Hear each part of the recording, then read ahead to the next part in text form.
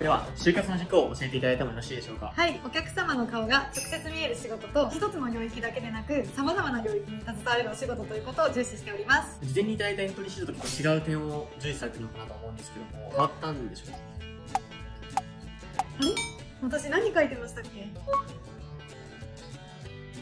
それでは、一旦こちらからの質問は以上になりまして、逆に皆さんの方から弊社に質問があれば、お願いしたいなと思ってます。え、まだ10分しか経ってないですけど。うん。はい。ぜひ皆さんの疑問を解消する場となればなと思っています。聞きたいこととかない